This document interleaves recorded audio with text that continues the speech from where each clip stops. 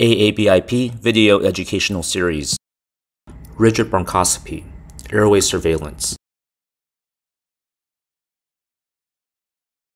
In this video, we will review the individual steps of performing airway surveillance with rigid bronchoscopy and highlight certain points of the procedure that may improve success.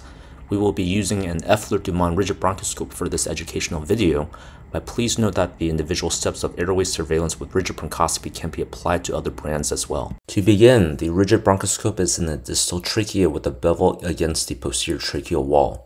We enter the right main bronchus by side bending and rotating the patient's head towards the left and rotating the scope counterclockwise and gently lifting the right lateral bronchial wall with the bevel as the scope is advancing to the right main bronchus. The rigid bronchoscope is rotated clockwise until the bevel of the scope is against the posterior wall. Of note, the head must remain in a side bent rotated position while the scope is advanced or retracted from the main bronchus. Once the airway exam on the right side is complete, the rigid scope is rotated counterclockwise until the bevel is against the right lateral bronchial wall. The scope is then retracted back into the distal trachea and rotated clockwise until the bevel is against the posterior tracheal wall. The patient's head is then straightened.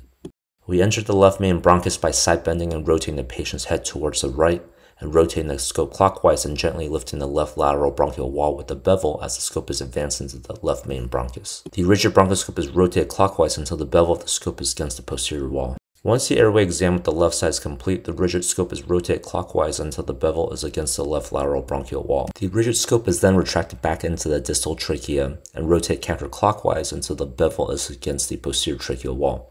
The patient's head is then straightened.